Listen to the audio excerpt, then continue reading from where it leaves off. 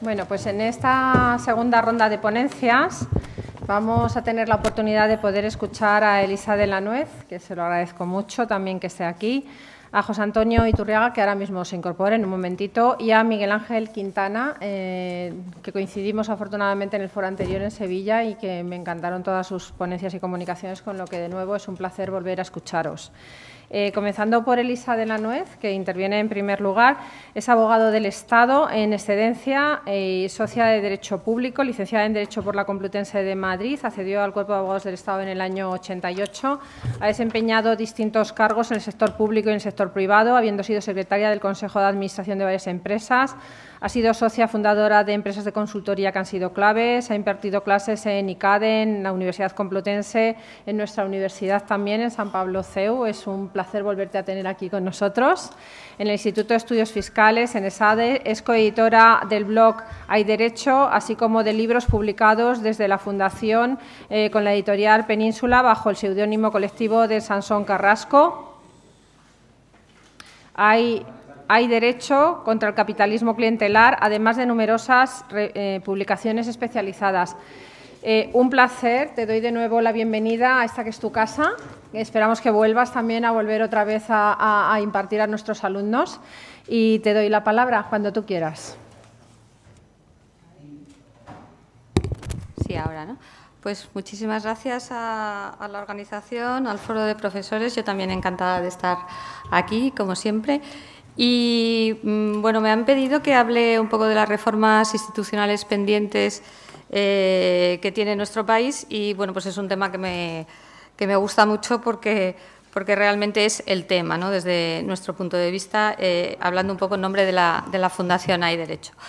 Eh, estas reformas institucionales realmente eh, lo que supondría sería volver un poco a lo que dice nuestra Constitución. Eh, nuestra Constitución diseña un, Estado democrático de derecho en base a los principios propios de una democracia liberal representativa y diseña una serie de instituciones que podemos llamar de contrapeso, ¿no? lo que los anglosajones llaman los checks and balance, que son instituciones que van a contramayoritarias y que van a suponer límites al poder lo ocupe quien lo ocupe. ¿no? Eso está bien diseñado en la Constitución, tanto si se trata del Tribunal Constitucional como del Tribunal de Cuentas, como del Poder Judicial, principio de separación de poderes, pero sin embargo, después de eh, muchos años de, democracia, lo que hemos ido es perdiendo un poco esa, esa idea originaria que estaba en, la Constitución y en las primeras leyes de desarrollo de la Constitución, y hemos ido, eh, digamos, a un modelo muchísimo más de, eh, bueno, de clientelismo institucional, de ocupación de las instituciones, eh, digamos en la práctica lo que el poder siempre intenta expandirse y eh, en la medida de lo posible ocupar aquellas instituciones que básicamente le pueden servir de contrapoderes. Esto yo creo que es más o menos lo que ha pasado en, todos estos años. Esto ha sido eh, una constante tanto en, los partidos de izquierda como los de derecha. Esto hay que entender que, la, como digo, la pulsión del poder por ocupar otros ámbitos y sobre todo por intentar ocupar los ámbitos que le pueden limitar es absolutamente normal y eh, propia de, cualquier democracia, pero claro, lo que nosotros hemos visto es que realmente nuestras instituciones no han resistido bien esta, digamos, estos ataques, si se quiere, ¿no? Y nos encontramos un poco en una situación que yo creo que sí que se ha puesto muy de manifiesto en esta última legislatura, donde realmente tenemos ya algunas instituciones muy, muy erosionadas y ahora pondré algunos ejemplos eh, precisamente porque no se ha revertido nunca esta tendencia, sino más bien se ha ido eh, intensificando. ¿no? Incluso eh, con un punto, yo creo, de inflexión eh, que ha sido el poner de manifiesto verbalmente que realmente las instituciones de contrapeso o contramayoritarias tienen que responder a, la, eh, digamos, a las mayorías del Congreso. Esto lo vimos con una crisis constitucional bastante grave que tuvimos en diciembre del año pasado, con el choque entre eh, el, Congreso, el Tribunal Constitucional, el recurso que puso el PP, en fin, ahí sí se produjo una pequeña crisis constitucional, no tan pequeña, donde, digamos, se puso de relieve, porque se dijo expresamente en el Congreso, aparte de hablar todos de golpe de Estado, que siempre eh, digamos, es, impactante, ¿no? teniendo en cuenta eh, mm, que hemos tenido golpes de Estado de verdad. Pero bueno, en cualquier caso, lo que se pone de relieve es esta idea de que, en este caso, por ejemplo, el Tribunal Constitucional tiene que responder a las mayorías que eh, hay en el Congreso, ¿no? y que esta es la, digamos, la forma normal. Lo mismo hemos oído también hablar muchas veces del tema de que el Poder Judicial no tiene un origen democrático, que si los jueces son de una tendencia son de otra. Todo esto ya son manifestaciones de iliberalismo, es decir, de prácticas eh, propias de democracias eh, iliberales, que en el fondo bueno, son digamos, estados que más bien van perdiendo ¿no? las, las, características propias de una democracia liberal. Y yo creo que eh, merece la pena llamar la atención sobre cuando pasamos de las cosas que se hacían por detrás, vamos a decirlo así, ¿no? y entre pasillos y entre bambalinas, allá explicitar queremos una mayoría igual a la del Congreso en los órganos que al final tienen que controlar eh, precisamente en el caso, por ejemplo, del Tribunal Constitucional, lo que hace el Congreso. ¿no? Y este sería un poco eh, el punto de partida. Y entonces, ¿qué es lo que tendríamos eh, que hacer? Bueno, pues tendríamos un poco que volver básicamente a, a los principios o a la regulación de nuestra Constitución, porque mm, realmente ahí está todo. ¿no? lo primero, claro, y siempre se nos dice, claro, lo primero son los partidos políticos. Pues, efectivamente, lo primero son los partidos políticos, que en una democracia liberal representativa son absolutamente imprescindibles y que eh, es evidente que tienen bastantes disfunciones, eh, en el sentido de falta de democracia interna, falta de rendición de cuentas, muchas veces una selección, eh, digamos, que parece casi una selección a la inversa ¿no? de los cuadros de los partidos políticos, de los representantes, pero, digamos, esto, siendo así, esto es lo que tenemos y no es fácil eh, em, esta, esta, modificación porque la tendrían que hacer ellos mismos. ¿no? Entonces, es cierto que en el origen, por así decirlo, de estos problemas está el propio funcionamiento de los partidos políticos, pero quizá interesa más ir, como digo, a otro tipo de instituciones y a lo que eh, dice la Constitución. Y también muy recientemente, y creo que eso también es un aspecto muy importante, lo que dice la Unión Europea, porque eh, bueno, la Unión Europea, lógicamente, tiene también problemas importantes de eh, países, de estados dentro de la Unión que no respetan las reglas del Estado de Derecho, que es uno de los fundamentos de la Unión Europea, en su artículo 2. Eh, por tanto, cuando uno se une a este club de países o a esta Unión Europea, tiene que acatar una serie de reglas y entre ellas está la del respeto al Estado de Derecho y, por ejemplo, la de la separación de poderes, que esto quiere decir que tiene que haber un poder judicial independiente del poder político que tiene que poder controlarlo. Y me refiero al Poder Judicial en primer lugar porque el Poder Judicial siempre es el primer objeto o el más, o quizá no el primero, pero el más eh, importante a la hora de intentar controlar eh, eh, los límites al poder. ¿no? Eh, en, España, sin ir más lejos, pues vimos que lo que sucedió en Cataluña en el año 2017 fue básicamente, o la reacción que hubo básicamente, aparte de la del artículo 155, fue la del Poder Judicial. Por tanto, el, el control político del Poder Judicial siempre se presenta como algo esencial. Y la situación que tenemos ahora mismo, como ya saben, en una situación de enorme deterioro institucional provocada por el, reparto, digamos, de cromos partidista que ha ido habiendo a lo largo de todos estos años y que al final ha dado como resultado una situación que realmente es muy lamentable y que ha merecido hasta la llamada de atención de la Unión Europea y que a día de hoy sigue. Con lo cual, eh, esta sería la primera reforma que yo creo que habría que hacer, es devolver devolver el Poder Judicial o, digamos, despolitizar el órgano de gobierno del Poder Judicial y eh, seguir lo que nos están diciendo desde la Unión Europea, que es un sistema mixto de elección de los vocales del Poder Judicial. Eh, porque, eh, insisto, la situación actual, y ya le echemos la culpa a uno u otro partido, es, desde luego, la consecuencia directa del reparto de cromos que se ha ido produciendo a lo largo de estos últimos años y en el cual, como les decía, los partidos políticos que tienen la mayoría en un momento dado en el Congreso intentan que esa mayoría se reproduzca en el órgano de gobierno de los jueces, que tiene además una implicación muy importante porque este órgano de gobierno de los jueces va a nombrar a los máximos representantes, a los máximos eh, miembros de la cúpula judicial, eh, muy destacadamente magistrados del Tribunal Supremo, presidentes del Tribunal Supremo, presidentes de sala, en fin, todas aquellas personas que van, digamos, a componer la cúpula judicial. Por tanto, eso sería, yo creo que la primera reforma institucional que debería hacerse, además, como digo, está impulsada desde la Unión Europea. Yo creo que la situación realmente eh, merece, eh, o sea, tiene ya urgencia y no se nos puede escapar, y esto no le gusta oírlo nunca a ningún gobierno, que situaciones parecidas que se están dando en otros países, como por ejemplo en Polonia, ya han llamado también la atención y han llegado al Tribunal de Justicia de la Unión Europea. Por tanto, no estamos hablando de una cuestión eh, menor. De hecho, en Polonia, cuando se les se habla de esto, dicen, bueno, es que tenemos el mismo sistema que tienen en España, ¿no? Por tanto, no es digamos, algo eh, que pueda eh, pasar bajo el radar, eh, como no lo está pasando de la Unión Europea. Otra institución que yo creo que realmente está también tocando fondo es la Fiscalía General del Estado. Hemos tenido siempre fiscales general del Estado. El fiscal general del Estado lo nombra el Gobierno y tiene el mismo mandato que tiene el Gobierno, lo cual ya de entrada pues supone un problema. Siempre ha habido fiscales generales del Estado, más próximos a un partido a otro, pero en esta legislatura es la primera vez que hemos tenido como fiscal general del Estado a una persona que acababa de ser la ministra de Justicia del mismo Gobierno. Por tanto, hemos dado un paso más en esa situación de dependencia política de eh, una institución que tiene que defender la legalidad y tiene que tener autonomía. No solo esto, sino que estamos viendo episodios también recientes y preocupantes donde digamos, no es ya solo el nombramiento del fiscal general del Estado, sino el nombramiento de otros fiscales relevantes, porque no hay que olvidar eh, que el fiscal general del Estado tiene muchísimo poder dentro de la Fiscalía para hacer nombramientos en la Fiscalía Anticorrupción, en la Fiscalía, como hemos visto ahora, de Memoria Democrática, para incluso apartar a fiscales eh, con procedimientos, digamos, poco ortodoxos de eh, casos concretos, como ha ocurrido, por ejemplo, en el caso de Villarejo, con el fiscal Estampa, que fue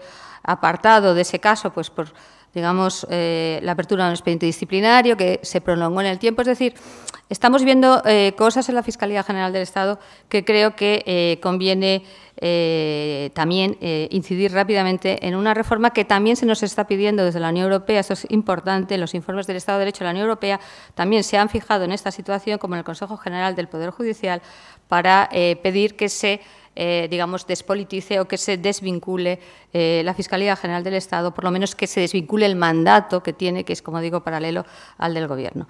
Pero también conviene hablar del Poder Legislativo, porque el Poder Legislativo a veces eh, quizás se ve menos, pero hemos tenido también, nosotros tenemos en la Fundación un informe sobre el Estado de Derecho, donde hemos medido, por ejemplo, con datos objetivos, lo que nosotros pensamos que son indicadores de deterioro institucional, y en uno de ellos es, por ejemplo, el uso de decretos leyes eh, que se ha estado eh, llevando a cabo en esta legislatura, también en las anteriores, pero de nuevo digamos que todas estas tendencias que venían de antes, que yo creo que es justo decirlo, se han acentuado y se han, digamos, eh, intensificado intensificado en esta legislatura. ¿no? Y, por ejemplo, el uso continuo de reales decretos leyes que superan ampliamente de las leyes ordinarias para, eh, digamos, eh, legislar es uno de esos indicadores claros. Como saben, el decreto ley es una eh, norma que solo se puede utilizar excepcionalmente porque es una norma legislativa que emana del Gobierno, no del Parlamento, en situaciones de extraordinaria y urgente necesidad y en el cual el Parlamento solo puede o decir que sí o que no, o bien tramitarlo como ley ordinaria. Y en estos datos que les digo que tenemos en nuestro informe, que está colgado en nuestra página web, vemos cómo en esta legislatura el uso del decreto ley ha sido constante y supera al de las leyes ordinarias. Pero también hemos visto en leyes recientes un deterioro claro de la calidad normativa y técnica de leyes con eh, fiascos tan eh, impresionantes como el de la ley del CSI y cabe preguntarse por qué cada vez tenemos normas que tienen menos garantías técnicas, eh, que digamos no mm, hacen caso o no se piden los informes que podrían evitar que se produjeran estas situaciones, o bien se piden y los informes no hacen hincapié en estas eh, cuestiones, eh, porque todo esto configura también una preocupación institucional sobre el funcionamiento de nuestro poder legislativo y el tipo de normas que generamos. He hablado también, porque es muy importante, de lo que serían las instituciones de contrapeso, básicamente lo que hay que hacer con ellas Perfecto. Lo que hay que hacer con ellas es despolitizarlas y, eh, por tanto, que funcionen como lo que deben ser, como digo, una institución contramayoritaria de contrapeso. Esto pasa también por su neutralidad y la profesionalidad de las personas que las componen. También debería ser una reforma urgente y no quiero terminar porque me eh, queda solo un minuto sin hablar de las administraciones públicas, que a veces se nos olvida, pero que las administraciones públicas, en definitiva, también si son mm, profesionales y son técnicas y no están politizadas y, las nuestras lo están y mucho, sirven también como no solo como brazo ejecutor de las políticas públicas, que esto se nos olvida, porque si la Administración no tiene capacidad no se van a poder desarrollar las políticas públicas del Gobierno que sea, sino también como contrapeso, contrapoder para, digamos, que se adopten las decisiones desde el punto que, que sean las que decidan los políticos, por supuesto, pero de la manera más adecuada desde un punto de vista técnico y a través de los procedimientos oportunos. Yo, sin más, lo dejo aquí. Muchísimas gracias.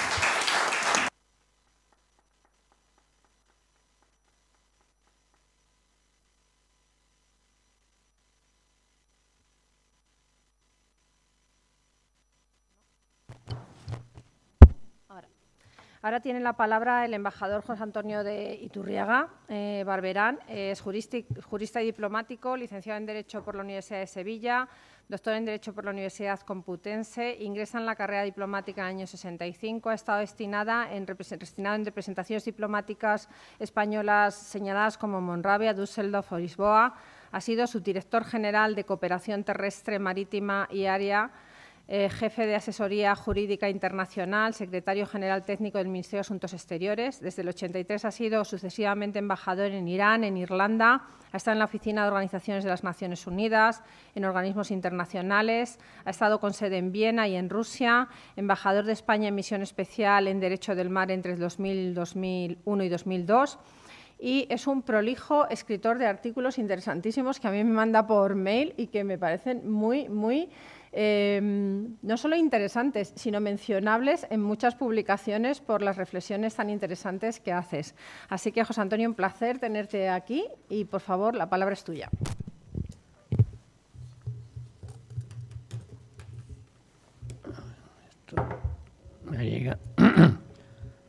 Bueno, muchas gracias, María Jesús. Eh, prescindo de los agradecimientos, entenderlo, puesto que andamos a a galope para poder terminar las ponencias existentes. Me ha tocado mm, hablar de los aspectos internacionales de la transición, que es un tema que, creo que no se ha abordado demasiado. Eh, es mucho más importante, por, supuesto, los aspectos internos, políticos, económicos, eh, ideológicos de lo que supuso la, transición, pero también fue importante eh, la, circunstancia, la coyuntura internacional que facilitó o dificultó eh, este proceso de la, transición.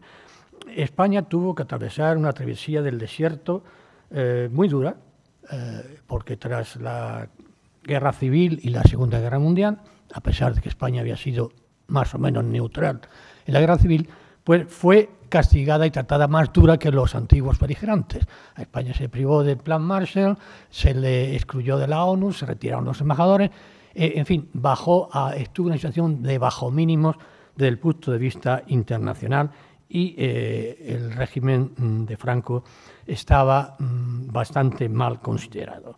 Eh, de aquí que cuando se produjo la, muerte de, Franco y se inició la transición, pues eh, las circunstancias internacionales no fueran en absoluto favorables para España. A mí, por, no sé si por el azar o la providencia, como os guste, me tocó, eh, sin, haber motivo para ello, estar presente en el momento en que se produjo la coyuntura de la muerte de Franco y la intronización de Juan Carlos I, del rey. Yo estaba de consejero cultural en Lisboa cuando se produjo el asalto a la embajada, al consulado general y a la residencia del embajador y nos tuvieron que evacuar. Eh, se interrumpieron las relaciones con, con Portugal y estuve durante tres meses en exilio interior. Y en esta coyuntura, pues sucedió la muerte de Franco. Entonces, el protocolo pues, nos pidió, pidió a todos los diplomáticos que tuvieran uniforme que participaran en la operación Alborada, que fue el entierro de Franco y la entronización de, de Juan Carlos. A mí no me apetecía asistir al entierro de Franco y me excusé diciendo que tenía mi uniforme en, Portugal, en Lisboa, y era así. Pero sí me apetecía estar en la entronización de Juan Carlos, entonces mi mujer fue en un viaje rápido, recuperó el, uniforme y yo me pude incorporar a los edecanes eh, que atendían a los pocos delegados que vinieron a, estos dos eventos. a mí me tocó ser decán de la delegación italiana. La propia presencia, escasa presencia de personalidades en el entierro de Franco revelaban mm, el desprestigio internacional de España. Estuvieron, pues, el príncipe Raniero, el rey Hussein de Jordania, el presidente Pinochet, el vicepresidente Rockefeller de Estados Unidos y la esposa de Imelda, Imelda Marcos, la esposa del dictador de, Filipinas. Eh, eh, cuando unos días más tarde se produjo la entronización de, Juan Carlos, eh, los, participantes extranjeros aumentaron un poco, pero no demasiado, ni en cantidad ni en calidad. vinieron algunas personalidades de la monarquía, como el duque de, Edimburgo, los príncipes eh, Bertil de Suecia y, el, de Bélgica, algunos príncipes, eh, eh, el, heredero del reino de Marruecos, Mohamed VI, entonces todavía un, chiquillo, y luego pues como personalidades políticas, pero no muy destacadas, salvo el caso del presidente de la República Francesa, Giscard d'Estaing, luego estuvieron el presidente de la República Alemana y el presidente de Irlanda y repitió también el vicepresidente eh, Rockefeller. El nivel, por lo general, de las delegaciones fue bastante bajo. Por ejemplo, en Italia el jefe de la delegación era el senador Pella, había sido ministro, pero un simple senador. Y ese fue el nivel eh, de, las, de las representaciones. Eh, cabe destacar aquí cómo el presidente Giscard d'Estaing, con su habitual prepotencia, pues trató de erigirse en el, en el benefactor y en el, el guía del, pobre eh, rey Juan Carlos, que no sabía nada de democracia, de enseñarle los caminos de la democracia. Eh, sin embargo, esto duró poco porque luego Francia fue uno de los principales obstáculos para que España se incorporara a la Comunidad Económica Europea.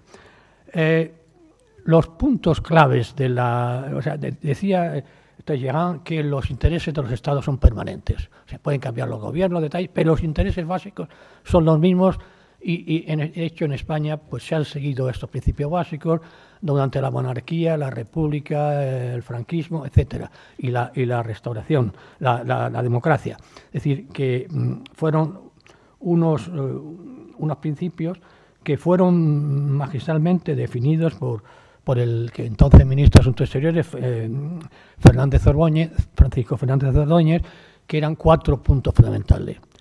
La integración en Europa, el vínculo transatlántico, la eh, presencia en Iberoamérica y la solidaridad mediterránea. Estos son los puntos básicos de la política exterior española. El más importante, sin duda, la integración en Europa. Ya desde la época de Ortega, Unamuno y demás, se hablaba de que si eh, España era el problema, eh, Europa era la solución. Pues bien, España siempre eh, ha aspirado a que se reconociera su estatus en Europa como un miembro más, que durante, durante bastantes años no fue tal el caso. Y esto eh, se provocó con el intento de incorporarse a la Comunidad Económica Europea. Ya en 1900 eh, mm, España había estado, como digo, boicoteada, expulsada, o sea, no admitida en Naciones Unidas, excluida de la OTAN, y hasta el 1953, con acuerdo de las bases con Estados Unidos y el concordato, empezó un poco la recuperación internacional de España. Eh, eh, en 1955 ingresó en la, en la ONU, en 1957 en la, en la, en la OECD, y eh, importante en 1977 cuando entró en el Consejo de Europa. Pero su principal aspiración era entrar en la Comunicación Económica Europea. En 1962 pidió la admisión y ni le contestaron. Eh, se volvió a pedir, eh, la Comunidad Europea le concedió el régimen de asociación a países eh, no, no, especialmente democráticos como Turquía, como Grecia, que aún se la negó a España, solo firmó un acuerdo comercial en 1970. España se volvió más bien hacia la, la, conferencia de, cooperación y seguridad europea, en la cual no había, no había mm, problemas de, admisión, curiosamente firmó el, el acta de Helsinki, eh, que curiosamente en ese momento había, en los que asistentes, había 16 occidentales, 7 socialistas, 15 no alineados y 2 figuras extrañas, Vaticano y España. España no, no, no conseguía encajar en, en ningún sitio. Eh, consiguió, eh, eh, después de la, de la admisión en el, en el Consejo de, Europa, fue una decisión del ministro Oreja, en el cual incluso antes de, de, votarse una, una, constitución democrática, pero los, los representantes se comprometieron a respetar los derechos humanos, la democracia y firmó España casi todos los convenios elaborados por el Consejo de, Europa. Se inició entonces ya, una vez ya con la, con la democracia establecida, iniciada en España, pues eh, se volvió a España a pedir eh, el ingreso en la, en la Comunidad Económica Europea, aunque ya no había obstáculos políticos. Sin embargo, mm, a España le costó eh, desde 1977 hasta 1986, cuando ingresó en la eh, mm, Comunidad Económica Europea. Eh, el diputado francés, que además luego fue embajador en España, Pierre Guidoni, decía que Europa se extienda a estos países nos parece un buen objetivo, pero democracia es una cosa y la fruta, el vino y la verdura es otra cosa. Es decir, que Francia, que tantos abrazos se ha dado y tanto ha hablado de democracia, cuando llegó la hora de, que la, España era competidora en pesca, en agricultura y demás, pues le cerró la puerta y tuvo eh, que esperar ocho años y además en unas condiciones draconianas en el primer acuerdo de ingreso de España en la Comunidad Económica Europea. Eh, una vez que consiguió ingresar la Comunidad Europea fue un factor fundamental porque eh, el, propio mm, el europeísmo en España tuvo un papel fundamental durante los años de la transición, al aportar un elemento de cohesión y estabilidad al país para gran mayoría de las fuerzas políticas nacionales, integrarse en la CE suponía anclar a España en una organización regional comprometida con la democracia, la prosperidad y la justicia social, pues Europa representaba el estado de bienestar al que se aspiraba. Como dijo el ministro Martín Oreja, Europa, salvo honrosas excepciones, anduvo falta de reflejos. Se mostró adusta, exigente y cuando al cabo de los años se cercioró de que Franco y su sistema político habían muerto de que nos habíamos convertido en una democracia, en lugar de mostrar generosidad, empezó a sacar cuentas sobre los costes económicos de nuestra integración y torció el gesto. fue un factor fundamental, como reconoció el ministro Pedro Solves, la adhesión de España a la comunidad ha reforzado nuestro anclaje en las instituciones occidentales, ha reactivado toda nuestra estructura social, administrativa y económica y obligado a su modernización y ha presentado un desafío y un estímulo para los políticos y para la población. El segundo elemento es el del eh, vínculo atlántico. Decía Salvador de Mariaga que basta una geada al mapa para mostrar que las ventajas estratégicas naturales de España son tales que si fuerte va a representar en el mundo un papel de primer plano y si débil ha de ser constante objeto de la atención por parte de los fuertes. Es decir, este valor estratégico de España, sin duda, fue la que motivó el que Estados Unidos, cuando empezaba ya la Guerra Fría y había el peligro del comunismo, pues fuera a firmara con España en 1953 su primer pacto sobre las bases.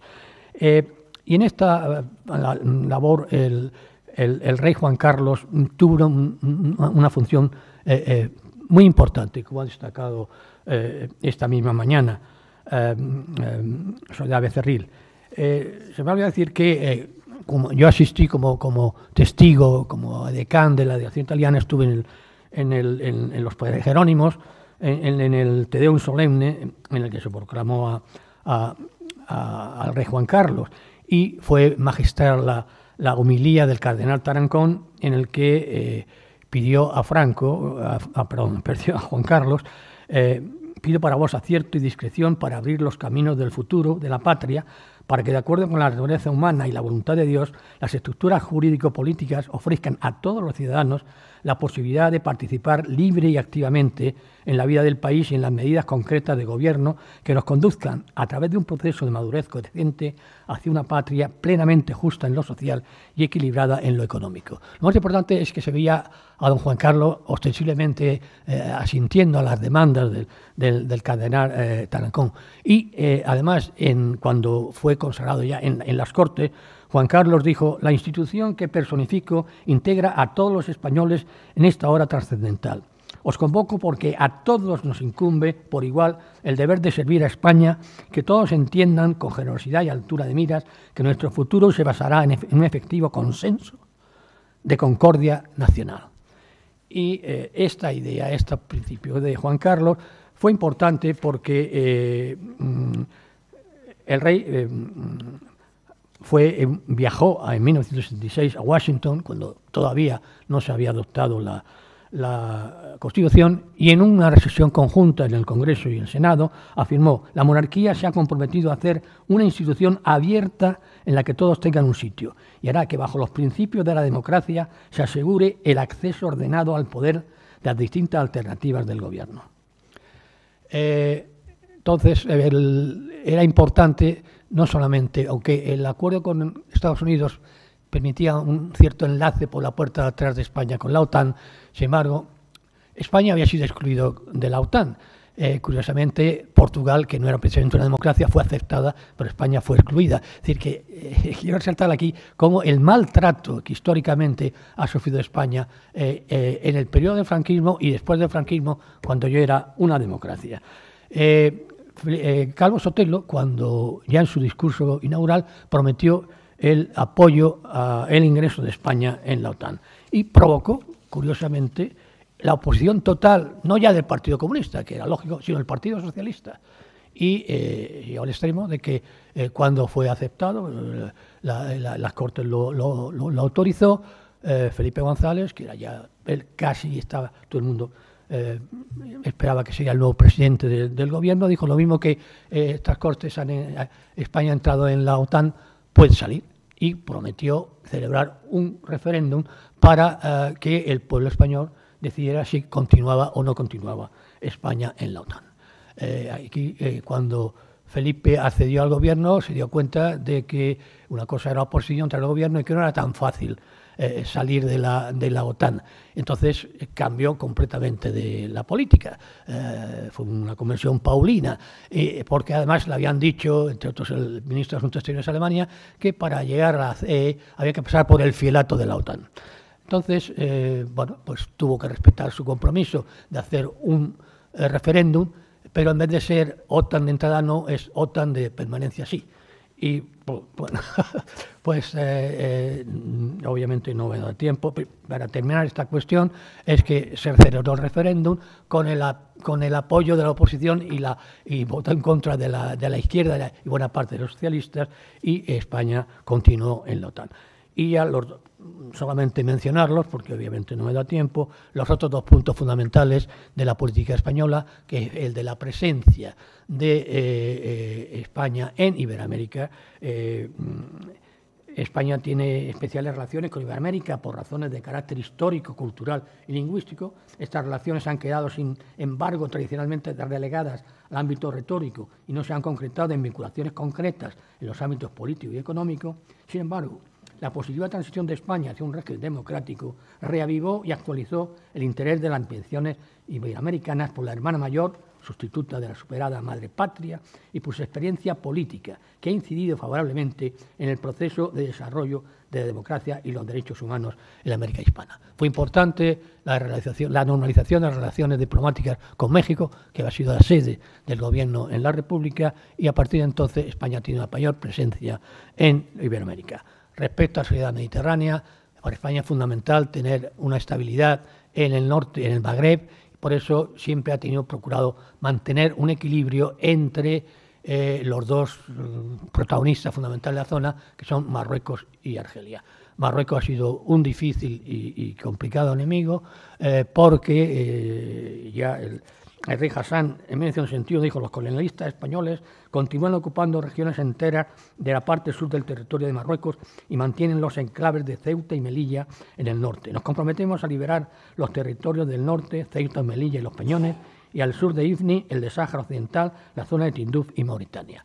Eh, el gobierno, los gobiernos democráticos de España se encontraron en una situación bastante eh, desagradable con la Marcha Verde, la, imposición cuando estaba muriendo Franco, los acuerdos de Madrid y, con esto voy a finalizar, cuando España eh, eh, anunció, comunicó al secretario general de la ONU que abandonaba la colonia española del Sáhara. Sin embargo, a última hora introdujo, por, por mediación de entonces ministro Areilza, una afirmación que hizo el chaval un poco la cara. Es decir, que el, Sahara no se terminará su descolonización hasta que el pueblo saharaui no se haya expresado libremente. Eh, termino eh, con esta este cabalgata a, galope. Muchas gracias.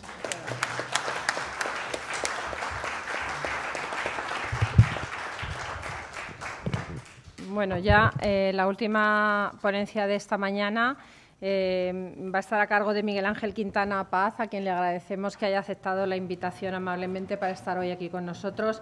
Es director académico y profesor del Instituto Superior de Sociología, Economía y Política, licenciado en Filosofía y Ciencias de la Educación por la Universidad de Salamanca. Eh, ha sido reconocido con distintos premios como el Premio Nacional de Terminación de Estudios de Filosofía, eh, ha tenido distintas becas y estancias fuera en el extranjero con distintas eh, entidades como la Fundación Caja Madrid, etcétera, eh, formación de personal investigador de la universidad. Es doctor desde el año 2002 en Filosofía por la Universidad de Salamanca, premio extraordinario de doctorado y además eh, tiene una tesis doctoral especializada en, normatividad, interpretación y praxis. Eh, en el giro hermético hermenéutico nihilista. Perdóname si lo he pronunciado mal. bueno, es, tiene una prolija bibliografía porque es un, importante investigador y le agradecemos mucho que esté aquí. La palabra es tuya. Muchas, gracias. Muchas gracias a todos y al Foro de Profesores por mm, ofrecerme la posibilidad de compartir aquí algunas ideas. Em, la ponencia, el título de la ponencia que di y que figura en el programa es el de Más allá del consenso, eh, y creo que de alguna manera eh, pequé de algo que, no me suele gustar y es eh, una cierta, un cierto moderantismo. ¿no? En realidad, la expresión más allá del consenso es polisémica. Cuando hablo de más allá, hablo del después del consenso, que es seguramente una expresión más fuerte, porque más allá del consenso puede ser algo que incluye el consenso y va más allá. El después del consenso deja claro que ha sido abandonado y es en esa la línea en la que voy a ir o incluso contra el consenso, que va a ser incluso la línea que voy a defender al final. mi, ponencia en ese sentido hacia un valor clásico de, la transición política española y son los valores de la transición política en el tiempo presente lo que da título a, nuestro Congreso y por eso quizá mm, eh, me reprimí un poco al hecho de, expresar netamente mi oposición a uno de ellos, pues mi posición hacia ese valor en concreto es... Eh, extremadamente crítica eh, y voy a intentar, eh, dentro de los 20 minutos que tenemos, voy a intentar diseñar las cuatro facetas en las cuales me parece la noción de consenso, que es la noción de consenso se nos ha vuelto bastante problemática. Creo que mm, sería bueno empezar por el consenso, por el significado fundamental seguramente que tenía la palabra consenso en, durante la transición, que era un consenso sobre el pasado, por motivos obvios, ¿no? sobre el pasado inmediato, eh, pero también sobre el pasado, sobre el, sobre el trauma que suponía la, guerra civil. Em, obviamente, cuando hablamos de que hubo un consenso en durante la transición acerca de la guerra civil o de o del régimen franquista nos está diciendo que todos pensaran lo mismo, lo cual sería una tesis absurda, que pensaran lo mismo sobre la guerra, gente que venía de bandos, incluso vitalmente de bandos enfrentados, que pensara lo mismo sobre quién la debería haber ganado, que pensara lo mismo sobre cuáles fueron las causas, o que pensara lo mismo sobre lo que sucedió después. El consenso no era ese, sino que ahí había un, un rico y plural consenso. Tampoco había existía, por supuesto, un consenso historiográfico. Ni siquiera había, como a veces ha pretendido aducir, una especie de silencio o de consenso de acuerdo en el olvido, ¿no? Em, en el discurso de entrada en la Real Academia de Historia de hace relativamente pocos años de Juan Pablo Fusip hay una interesante de construcción de esta idea, ¿no? y, por contrapartida, por lo tanto, demostrar cómo en realidad estaba muy presente en la historiografía, estaba muy presente en la literatura, estaba muy presente en, las librerías, en lo que se escribía, en lo que se publicaba, en lo que se discutía en aquellos años, por supuesto que estaba presente el pasado, por supuesto que estaba presente la guerra civil, por supuesto que estaba presente eh, el franquismo. Tampoco hay un consenso, así como la historiográfico, por supuesto, tampoco lo había en la memoria, ¿no? que, es una cuestión más personal y que también, obviamente, a, las distintos, a los distintos actores, a los distintos partidos políticos, incluso a las distintas personas, ya digo, muchas habían vivido, muchos de los protagonistas de la transición habían vivido personalmente la guerra civil, pues no, no, había, no podían tener memorias mm, consensuadas, ni consensuales, ni que aspiraran al consenso. ¿Cuál era entonces el consenso, ese consenso que sí que caracteriza mm, la transición? Pues eh, es un consenso que ya entre los griegos, después de alguna también de sus guerras civiles, que también las tuvieron y no pocas, pues eh, se había convertido en un modelo ético de cómo mirar hacia el pasado. Y es la idea, esta vieja idea de no usar el pasado para hacernos daño. Eh, en eso sí que estamos de acuerdo unos, en eso sí que estamos de acuerdo los otros, y por tanto, aunque en todo lo demás podríamos sacar muchas cosas y podríamos utilizarlas para agredirnos, en esto al menos vamos a, vamos a coincidir. Podemos recordarlo, pero, pero no, de esta, no con esta finalidad. Esto es lógico por cuanto en ambos bancos pues, em, habían producido fechorías eh, innombrables. Estando en una institución como, como el CEU, siempre quiero agradecer la labor que se ha hecho historiográficamente, por ejemplo, de recuerdo de las checas que hubo en Madrid durante la Guerra Civil. Es un estudio que me parece muy reciente y, de, alguna manera contracorriente, por lo que diré luego, contracorriente de lo que ha pasado después. Y, que nos sorprende, pues con esa, por supuesto la mayoría de las checas eran del PSOE, pero a mí siempre me sorprende el hecho de que, de que incluso el PNV tuviera una checa en un país para ellos ajeno y extraño, en una ciudad ajena como Madrid, pues también implantara su propia checa para ponerse a torturar y a, y a, cometer todo tipo de, maldades. Por lo tanto, ese, mm, ese pasado por los dos lados, ya digo, eh, a veces últimamente más olvidado por el lado de uno, por uno de ellos, es el que ese consenso de no hacernos daño es el que se ha ido rompiendo. ¿Cómo se ha roto? ¿Por qué se ha roto? Bueno, se ha roto en términos legislativos, y ahora enseguida iré a ello, pero creo que una buena explicación de las causas subyacentes a que esta ruptura se haya producido nos las, da, nos las ha dado y, tengo el gusto de, estar reeditando ahora un libro que saldrá muy breve. Em, con esta idea nos la ha dado un protagonista de la mesa anterior, que es José María Marco. En, este texto que publicaremos en una o dos semanas, eh, José María habla de que utiliza la metáfora del manicomio para referirse a, España. Un manicomio en el cual conviven dos eh, enfermos muy distintos, un psicópata y un neurótico. El psicópata es, como saben, el, aquel que mira su pasado y no es capaz de detectar en él ningún mal cometido por sí mismo, no ha hecho nada malo. Por lo tanto, pues eh, su actitud hacia él no responde a lo, no puede responder al principio que establecí, que recordé antes, al principio creo que establecí antes, no usar el pasado para hacernos daño, porque él piensa que no tiene nada en su pasado con lo cual se le pudiera hacer daño a él. El neurótico, sin embargo, tiene la actitud contraria. El neurótico tiene la actitud de pensar que cada pequeño detalle, cada pequeño mal que haya cometido en el pasado o que esté cometiendo ahora en la actitud, se obsesiona con la idea de que no responde a la norma, de que no responde a la figura del padre, si nos queremos poner más, más freudianos, y que por lo tanto pues no, nunca lo hace bien, nunca está bien y vive atormentado por esta culpa.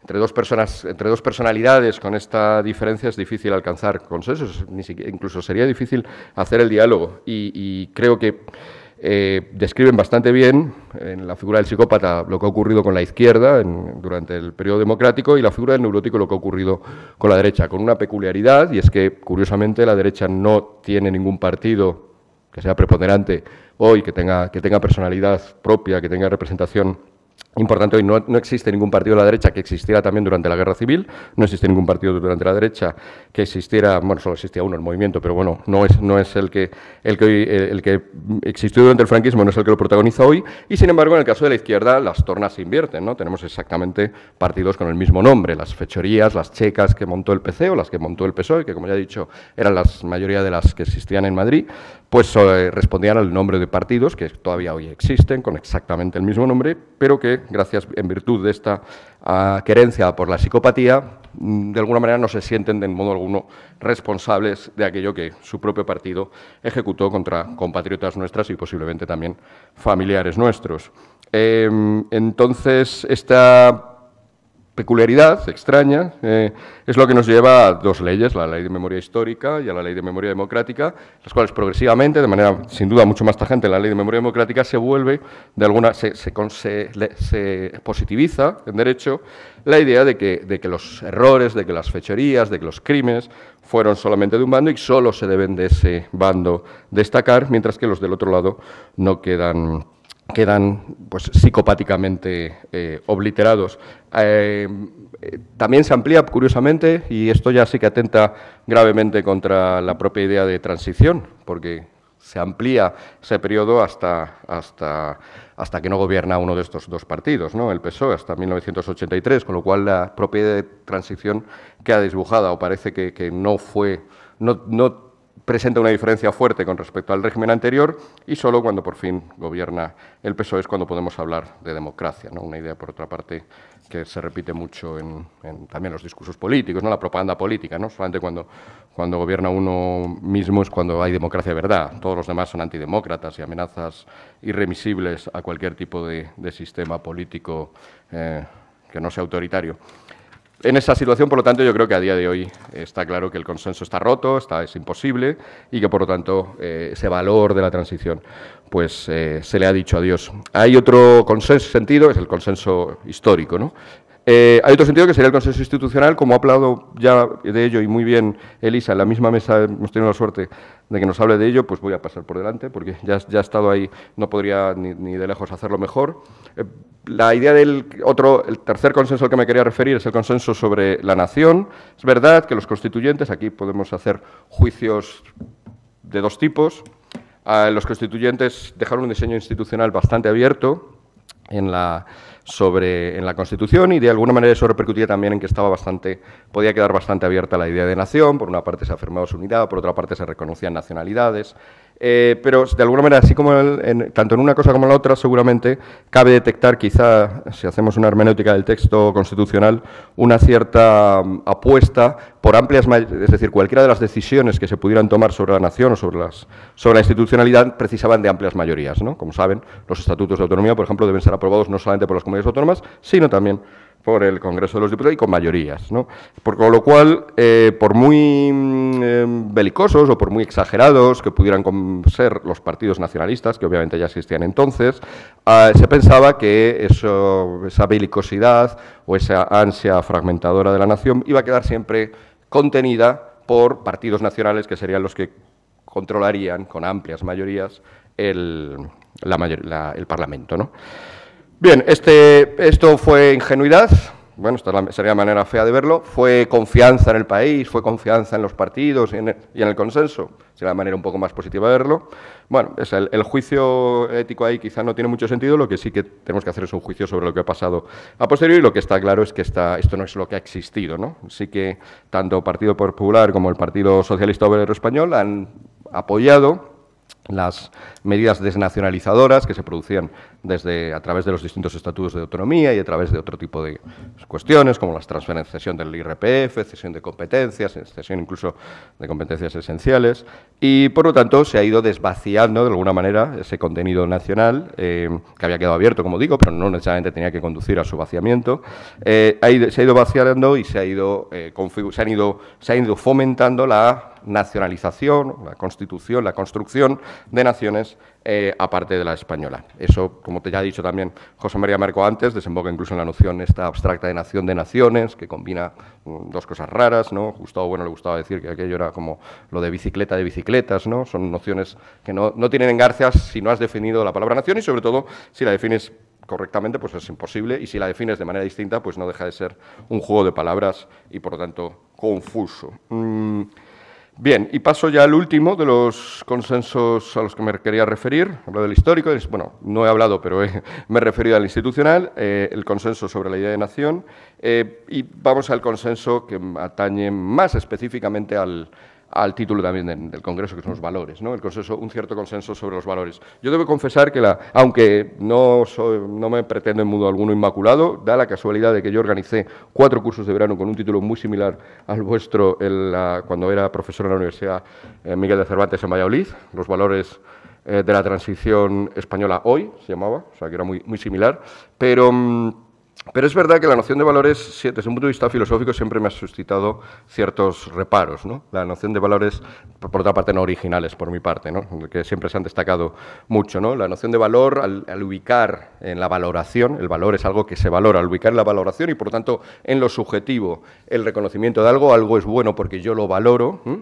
Ah, pues tiene un riesgo de subjetivismo que han destacado pues, pues numerosos autores y mm, incluso la propia existencia de la nación española, si es un valor, si es solo un valor, pues obviamente los valores, cuando dejan de ser valorados, ya no tienen nada, no tienen más esencia que la propia valoración subjetiva que cada uno hacemos. Si, España se dejara valorar, pues, pues acabaría. Entonces tenemos que estar ahí como valorándola mucho para, para, para que permanezca, ¿no? es como si eso estuviera ahí en el aire gracias a, a nuestras valoraciones. Ah, frente a la noción de valor es obvio que en la que por otra parte filosóficamente es reciente, ¿no? es ya muy paradigmáticamente de, Scheller, ¿no? a los inicios del siglo XX.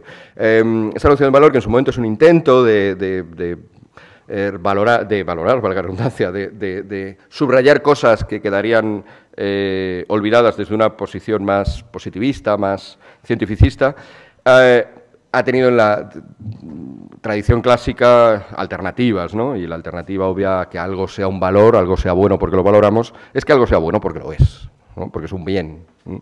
Y la idea de que, mm, España no es algo solamente valorable o que hay que valorar, y o como se dice ahora, poner en valor, sino que es algo bueno, que es un bien, pues creo que es, que la que a mí más me atrae. O sea que empiezo a hablar sobre los valores ya con este, con este caveat. Por cierto, los pocos que han hablado de España como un bien, de la unidad de España como un bien, no como algo valorable, sino como algo bueno en sí mismo, es la, que yo sepa, ¿no? es la Conferencia Episcopal Española, no, no soy muy clerical, pero aquí hay que reconocerles ese ese mérito.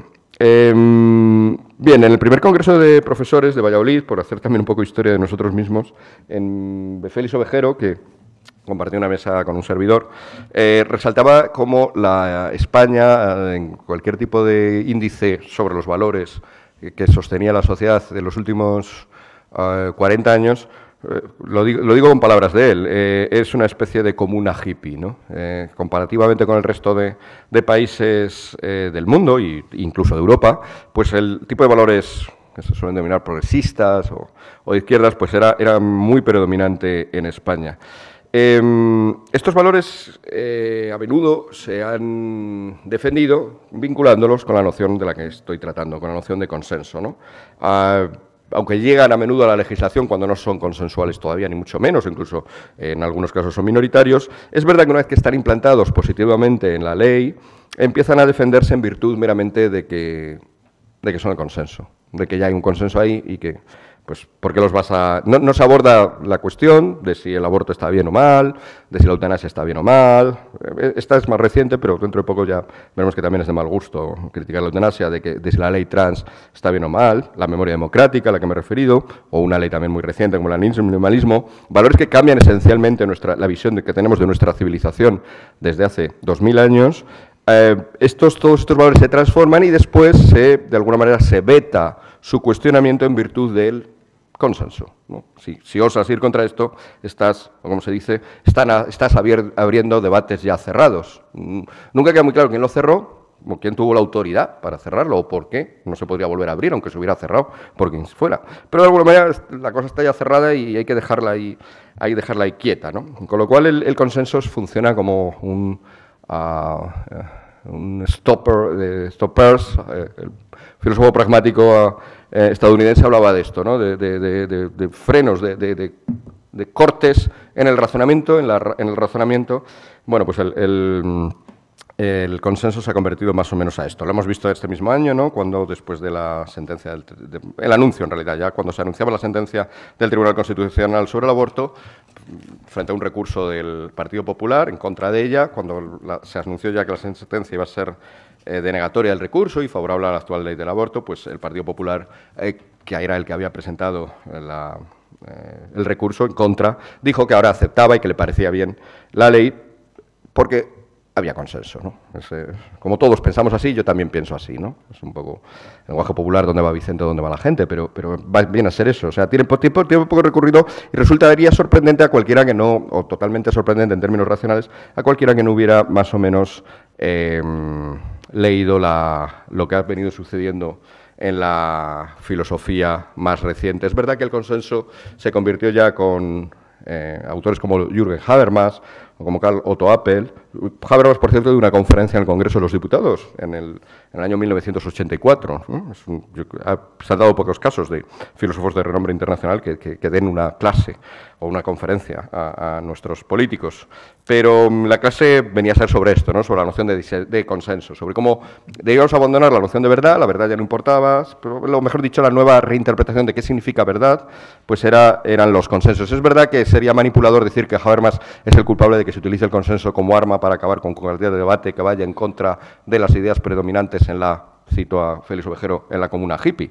Em, sería erróneo, pero es verdad también que las condiciones racionales que exigían Habermas y Apple, las condiciones del diálogo, de un diálogo perfecto, que pueda ser por lo tanto valioso, son tan absolutamente incumplibles, que en el fondo eh, no podían sino quedar olvidadas y sustituirse por un desplazamiento del foco del interés desde la verdad hacia los consensos. Desplazamiento del foco que, por otra parte, los grandes rivales de Habermas o de Apple, como serían los filósofos me estoy refiriendo también a este último periodo, ¿no? de los últimos 40 50 años, los grandes rivales de ellos, que sería la filosofía posmoderna, eh, ellos se pretendían como los últimos ilustrados, pues eh, por supuesto acoge con toda eh, complacencia ¿no? esta idea de que, de que vayamos abandonando la idea de verdad porque la verdad ya no importa. Que este es, por cierto, el significado de la expresión posverdad. Vivimos en un tiempo posterior a la verdad. ¿no? La posverdad no son las fake news o que haya mentiras. La, la posverdad es que nos da igual que haya mentiras o que, que nos da igual discutir sobre la verdad y que nos da igual discutir sobre si el aborto está bien o mal, el considerar la nueva ley animal que equipara a los seres humanos y a los humanos en algunos aspectos, o incluso va, va, va disdibujando esa antropología, pues que, que no nos importe si eso es verdad o no, que nos importe simplemente si está en la ley, si se ha aprobado y si hay mucho consenso al respecto.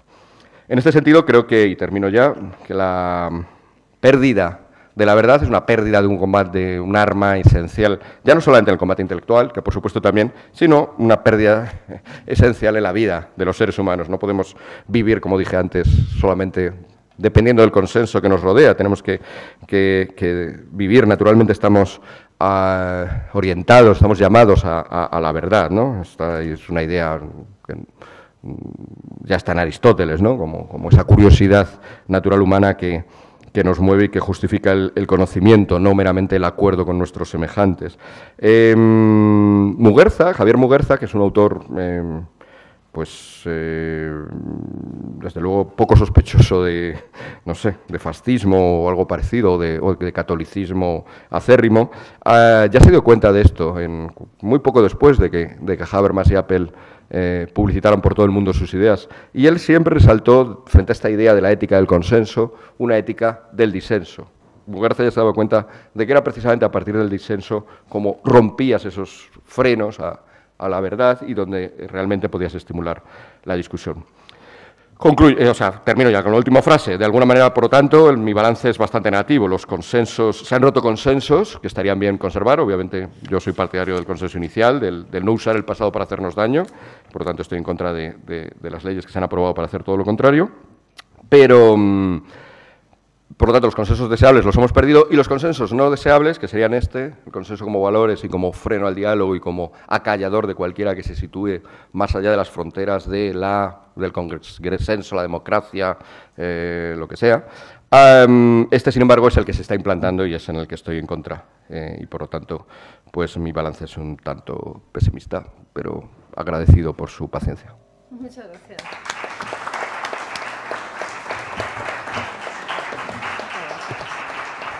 Bueno, eh, tenemos una enorme oportunidad durante la comida de poder preguntarle a, los ponentes lo que se nos haya quedado en, la cajonera, pero no obstante, y aunque vamos con un enorme retraso, yo creo que podemos tener dos, tres preguntas para cualquiera de los seis ponentes. Entonces, quien quiera pedir la palabra, que levante la mano, que por favor se identifique.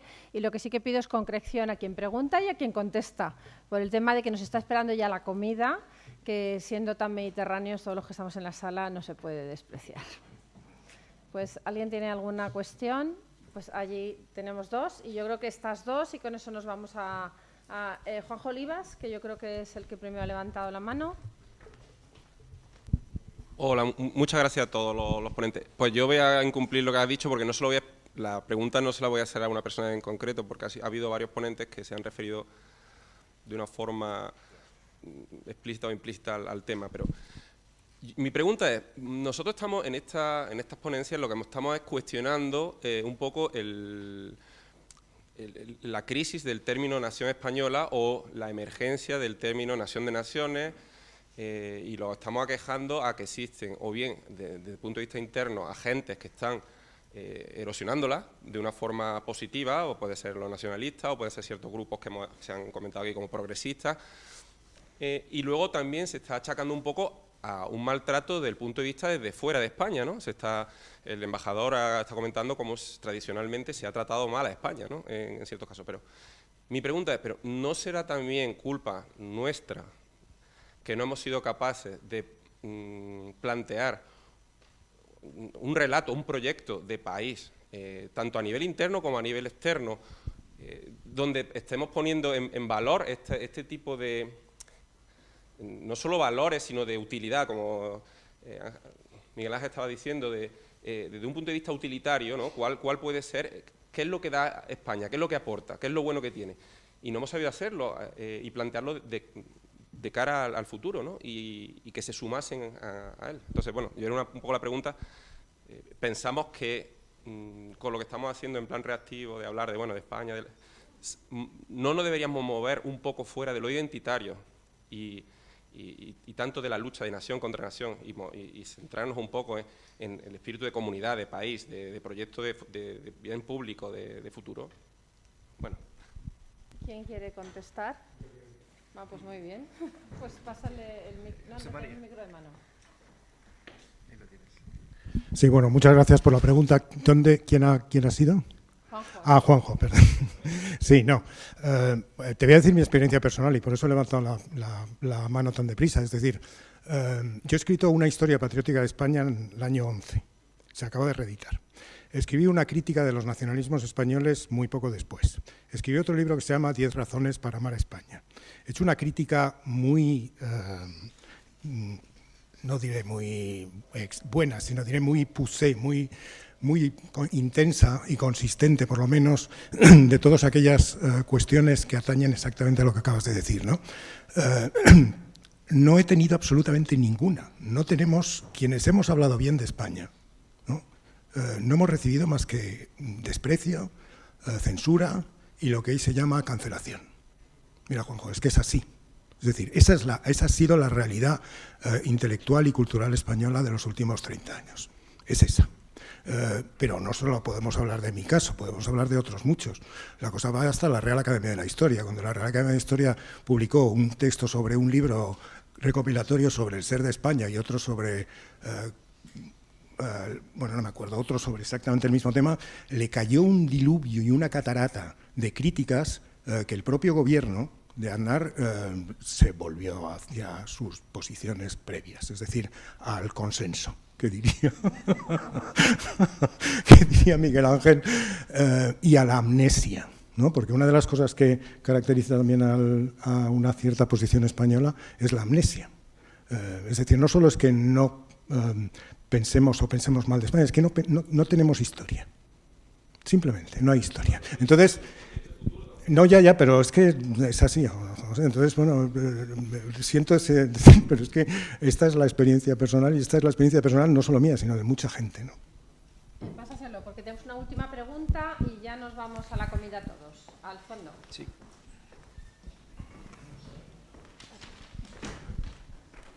Gracias. Bueno, yo soy Victoriano Ramírez de la Universidad de Granada. Eh, viví el, inicio de la democracia acabando de ser estudiante y entrando de ser profesor y creo que fue extraordinaria. Pero después eh, hay cosas que creo que se tendrían que haber modificado y no lo han hecho, aparte de los contrapoderes, que efectivamente eh, me parece muy bien y que están, han estado todo el año en vigor. Hay una cosa de la que no se suele hablar y es del tema del sistema electoral. Inicialmente estaba bien, pero un sistema electoral en el que se penaliza a partidos que tienen de ámbito nacional muchos más votos que partidos nacionalistas, se le ha estado dando mucho más poder a los partidos nacionalistas y nos ha estado obligando a muchas cosas. Y creo que entre las reformas institucionales tendría que estar esa una de ellas. Es decir, que un partido con un solo voto más que otro no tenía que tener menos escaños. Y otra cosa de la que no se habla es el sistema de elección de presidente de gobierno, que de forma más o menos indirecta heredan las eh, comunidades autónomas. Dos elecciones fallidas y la próxima también podría serlo. ¿Por qué? Porque hay un método de elección de presidente de gobierno, de, bueno, no es de elección, digamos, sino de, eh, ¿cómo se llama? el término eh, eh, investidura de presidente de gobierno que puede concluir con la no existencia de presidente de gobierno, que haya guiado otras elecciones, ¿no? Y eso ahora mismo pues también ya puede empezar a pasar porque se copia, se copia el método en las en las eh, comunidades autónomas, y ya anuncia Extremadura, ¿no? Entonces, esas dos cosas yo creo que también habría que pensar en ellas y de reformarlas en algún momento. Muchas gracias. Pues ruego concreción en la respuesta. Quien quiera contestar. ¿Quieres contestar, Elisa? Muy bien, fenomenal. ¿Ahora? Sí. Sí, sí. Empezando por lo fácil, que lo segundo es que, claro, nuestro sistema de investidura del presidente del Gobierno es el de una democracia parlamentaria. El Congreso tiene que decidir quién es el presidente del Gobierno. Esto es así. Es verdad que luego tenemos esas cosas siempre un poco de que se dice, ¿no? Que un poco sistema presidencialista por detrás, porque los partidos tienen un líder, pero la realidad es esa, te tienes que presentar una investidura y tienes que tener la mayoría de, los votos del Congreso. A mí es un sistema perfectamente razonable que ha funcionado muy bien hasta hace nada, ¿no? Entonces yo no creo que sea un problema tanto del sistema, sino un problema pues de la fragmentación política que hay, de la política de bloques o lo que sea. No, no creo que eso sea realmente un problema. El eh, vamos, un problema, digamos, desde el punto de vista institucional, ¿no? que es a lo que nos referimos. Eh, el otro punto, me parece que lo interesante ahí, lo que yo, eh, sin ser experta en sistema electoral, eh, me parece que el punto siempre es la sobrerepresentación que tienen las provincias poco pobladas. Este es el tema fundamental, ¿no? Siempre se dice eso, que las provincias poco pobladas, lo digo ahora que me veo a Isla, porque de estas hay varias, en, digamos, tanto por supuesto en Cataluña como en Castilla-León o en Castilla-La Mancha, es que están muy sobrerepresentadas. Es decir, que lo que siempre dicen, ¿no? que el voto en una provincia poco poblada al final es mucho más barato, entre comillas, que en una provincia como Madrid o Barcelona. Y eso hace que provincias del interior, lo digo pensando por ejemplo en Cataluña, ¿no? Eh, digamos, tengan una sobrerepresentación. Pero ese sería el, tema de fondo, ¿no? Y eso afectaría no solo a los partidos nacionalistas, que sin duda les afectaría, afectaría también a otros muchos partidos, ¿no? Tenemos los temas de estos partidos de la España vaciada, ¿no? De ya no me acuerdo cómo se llaman, de Soria, eh, Teruel existe, Soria no sé qué, eh, es un poco la misma historia. Entonces, ese es el tema de fondo y ese sí que es un tema eh, que lleva así desde la transición, donde se hizo ese reparto. Y claro, lo que pasa es que la España vaciada cada vez está más vaciada, esa es otra, ¿no? Con lo cual, digamos, lo que vale el voto de un ciudadano, vamos a decirlo así, es totalmente diferente en una, digamos, una provincia como Madrid o Barcelona que en una provincia como Soria, como Jaén o como Girona. Y ese, este es el tema. Con lo cual, si eso se pudiera solucionar, pues de ahí vendría un, digamos, eh, una diferencia importante porque sencillamente cada, cada voto de un ciudadano valdría lo mismo. Y no sé si alguien tiene ganas de hacer eso porque, porque bueno, eh, digamos, los beneficiarios no van a tener interés en cambiar el sistema. Muchísimas gracias. Bueno, yo quiero dar las gracias a los seis ponentes que hemos tenido. Quiero un aplauso para ellos.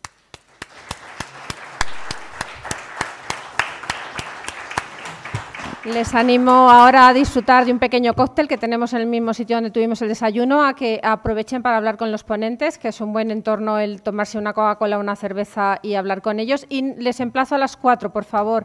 Eh, les ruego puntualidad por intentar seguir manteniendo los ritmos. Sé que he hecho de bruja de la escoba, no me gusta nada. Yo soy muy simpática en mi vida privada, pero hay que mantener los ritmos. ¿Vale? Muchas gracias.